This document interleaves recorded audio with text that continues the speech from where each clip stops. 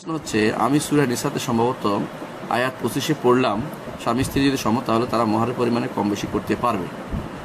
আপনার তাফসির পড়লাম বাট বিষয়টা আমি বুঝি নাই। আমি কি আমাদের বিবাহের ধার্যকৃত মহর এখন বউয়ের মতামত নিয়ে কমাতে পারব?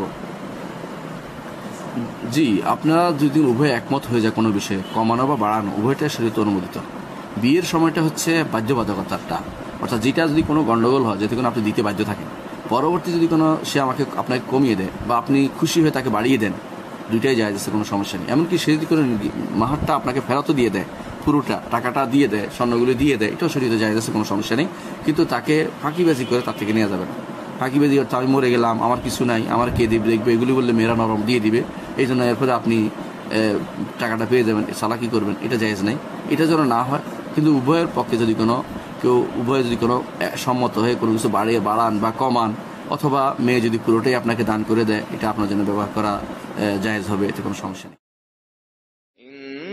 إنما المؤمنون الذين إذا ذكر الله وجلت قلوبهم